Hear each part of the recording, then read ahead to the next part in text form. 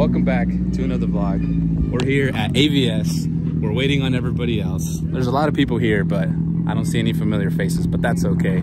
Uh, since Horse Thief Mile, I unloaded the car, didn't touch it. Then about 24 hours ago, I found out that there was gonna be a spare ticket for this event, bought it, added some oil, threw the fenders on, and then now we're here. So I really hope that uh, there's nothing wrong with the car. I'll probably do a semi-small bolt check, but other than that, I'm gonna air down these scrubs from Horse Thief Mile, send it. Hopefully, I'll, I'll, I'll try to go a little slow considering I don't know how grippy the tires are gonna be. They're kind of worn out, but the little E30 that could, man, we're ready. We're ready. All right, so we just got teched. Got the sticker for this event. What does it mean? I don't know. But the dude looked at it, he said, sheesh, and then handed me a sticker, so. Let's go get some practice runs in. I'm not gonna record. I wanna feel the car, warm up a little bit, and then I'll start getting some clips in for you guys. So apparently, it would seem that the whole morning, all my drift clips were recorded in a time lapse mode. I didn't know. I don't know how to salvage these clips because there's already no audio, and the frame rate is really weird when I slow the video down. So enjoy this weird botchy run. Uh, I'm so annoyed that it happened, but it is what it is, you know, just YouTube of things. I'm still going to include all the runs that I recorded. I'm just going to have them in this weird frame rate, super fast forwarded, and I'll throw music over it. Have fun.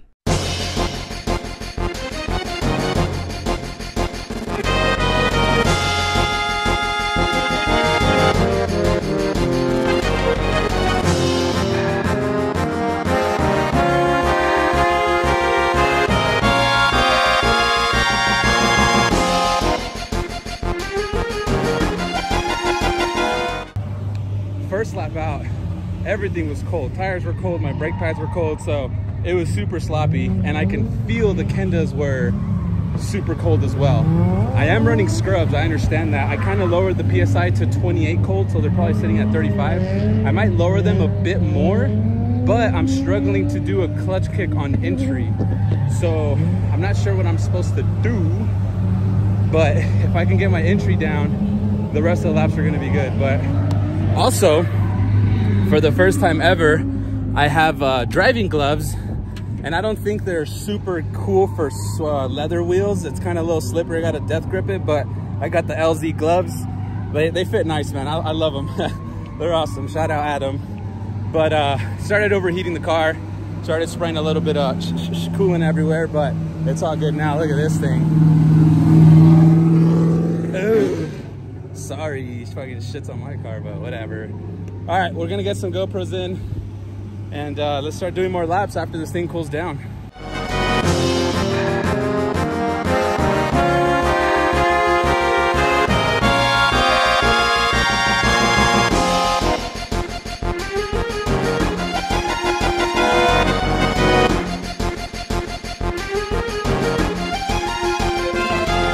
That last lap, I broke something. And everyone was telling me it was an axle, but little do they know, I'm custom faded and I broke uh, I broke the Heim setup. Now, that's where I wanted to break, right? That's exactly what we want happening. But now it's gonna be a true test if like the thread survived. I'm gonna have to unbolt everything, take it all out. I have new Heims and hopefully I can like screw them in. We'll see how long it takes me to do it on track.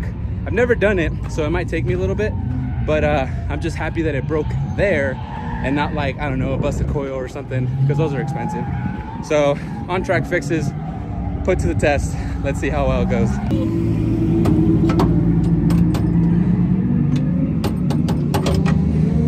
Take out the axle, take out everything, just so I have less weight on the control arm, so I can like control it and then put in the new thing. I've already disconnected the coil over, all that good stuff. I noticed that when the Heim joint broke, it pulled the axle boot too far back, so I'm gonna have to put a zip tie. I don't know how normal that is, but we're gonna send it.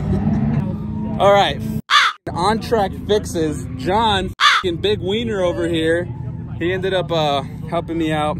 This is exactly what we want. So the Heim snapped. Now, if you guys remember, or actually, I don't know if I recorded this, but I have some soft steel and I was running that both sides, bent it when I tested it. So then I moved over to stainless, but only the driver's side is stainless. So now that I broke the soft steel on both sides, both sides are gonna have this stainless and it should be a lot stronger than that, in theory. So I was struggling to break this loose over here. The locking nut was just like way too on there. Um, I'm gonna see if I could install this without removing it over there because that is a pain in the butt. But I'm gonna try to throw this back in, see if it works. And if it works, we'll send it. I got the Heim off. Now we're gonna put the new one in. So I do this. And then this goes in here or like this. Uh-huh. And then this comes out here.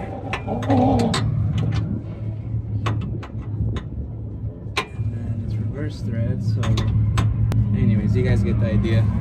I just realized I wasn't running, you guys see it? My external mic, and uh, hopefully there wasn't wind noise, I don't know. But the car's all put back together. It took me exactly from the last clip when I parked the car to now was exactly an hour. And I got it all good to go. Um, it's This is obviously the part that takes long. Everything else is like five minutes, but we got it on, on track. Fixes are proven to work. I'm hoping those Heims last a whole lot longer. Again, this was like that soft steel crap. Um, but I'm ready to go. Alignment is on uh, yes. It's aligned. Hopefully, I don't know. But super stoked, man. An hour of just wrenching at the track compared to just going home. I'll take that all day, every day. If you guys remember, wait, did I post that video? No, I didn't because I didn't have an external mic. It was all windy. Um, this has happened at this track where I broke the DTM kit and then like I'm SOL, you know, and it kind of stinks. So it works. this is great. I'm gonna go back out there and see how the car performs. All right. So we're finally done using the scrub tires from last event and I just threw in a brand new set of Kendas. My first two laps should be kind of crap because I mean, when you're breaking in new tires, that usually sucks and they're all nice and slippery. First lap, I, I'm just, I'm not even gonna do the entry really. I heat up my tires.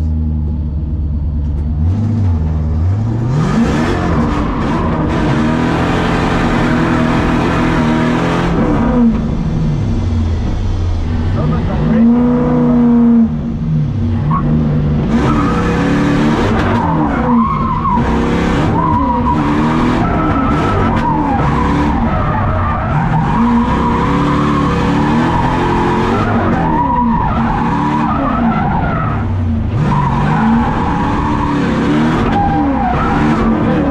Way too much grip, man.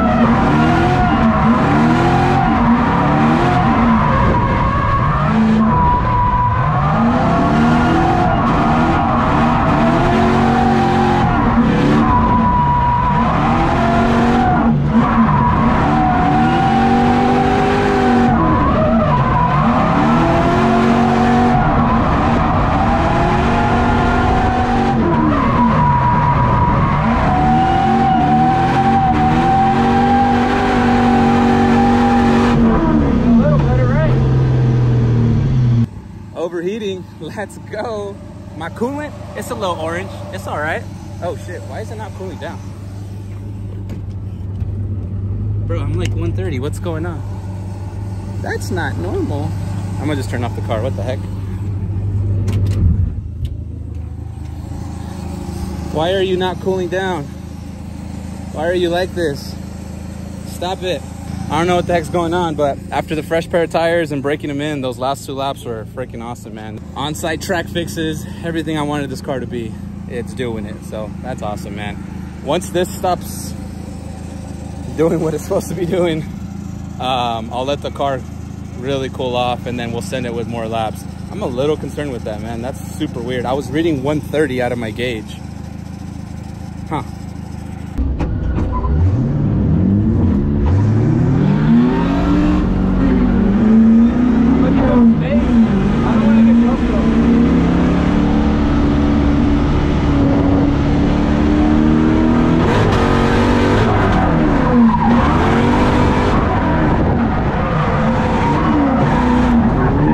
So looking back at all these clips, I realized that I should have aired up my rear tires so much more in PSI. I have too much grip and it's overpowering the front grip. And so I don't know why it didn't occur to me to air up the rears way, way more. You can kind of see it here, the nose of the car.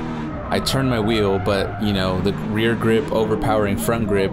Wherever the nose of the car is pointing, my car kind of goes in that direction instead of where the wheels are going. I should have aired up my rear tires. I, I keep messing up every single run. I know it's super sloppy. Uh, I, I need way more seat time for sure.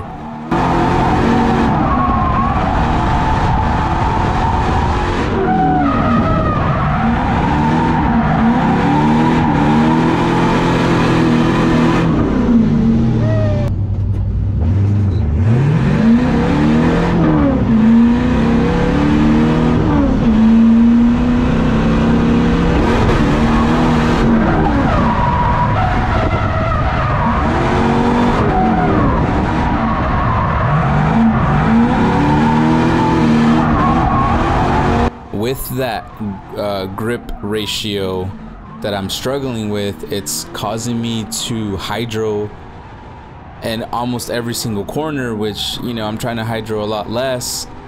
And again, I, I don't know why I didn't think about raising the PSI. My laps get better as the uh, tires got warmer because the air PSI went up as well. And man, it's so annoying that when you, you realize you know all your errors when you're watching everything in post. You wish you can do that you know while you're at the track but taking mental notes so for next time for sure I have to run maybe about 40 psi cold or 45 and then see how the car reacts and then go from there and start playing with it. All right. I don't mean to be redundant with the camera angles but the car i'm just enjoying myself man. The car's the car is great. The car just does car things now. And i broke it and fixed it. Like what more can i ask for man? Like ah this is so great. That's why i didn't do that. Holy shit that's cheap. The car's still kind of hot low key hot? The car's still kind of hot. The temp? Yeah we'll probably get like two laps What is it at? 180 oh wait it fucking drastically dropped What once is it's it low? Well, when, once I'm done, I know what temp it'll be at, you know what I mean? It's low to like two, like 200? Yeah. I'll start slow, second, first thing.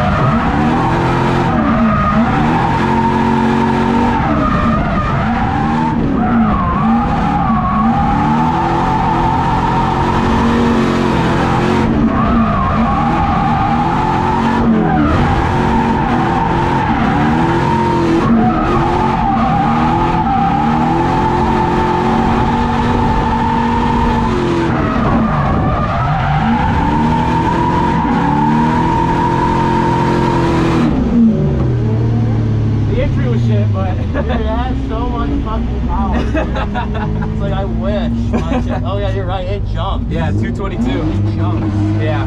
This track is like not forgiving on my temperature at all. It's what? It's not forgiving at all on my temperature. Fuck no, dude. It keeps your temperature high. Yeah, because I, I can't I can't drift in third or anything like that. I gotta stay in second. I'll try a third gear entry. I've been fucking I've been fucking on my downshift for some reason. But we'll we'll try it right now. What is he doing?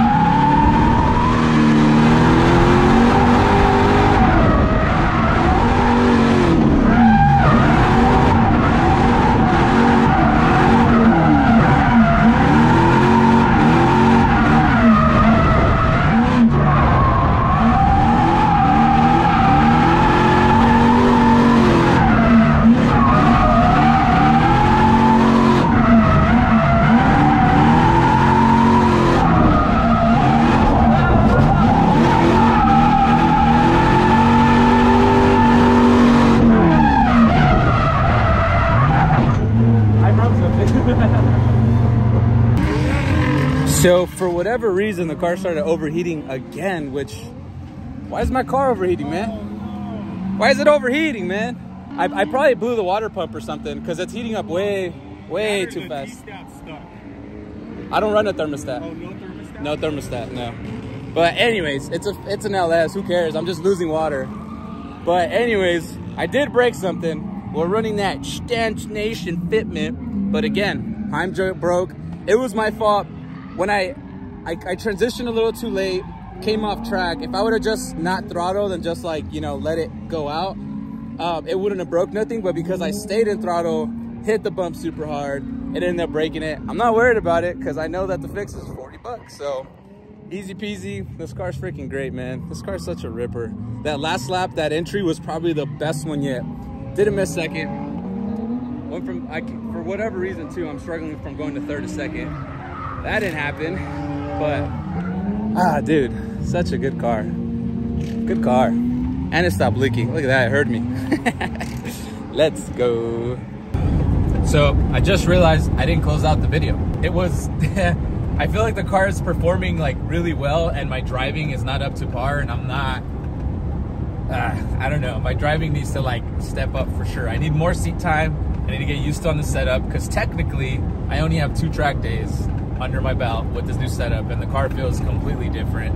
Uh, the driving gloves I was wearing, they were really, really slippery on the steering wheel. So I need to figure out a way for my gloves to have grip on the wheel because at the moment I have to death grip to just try to like hold on for dear life.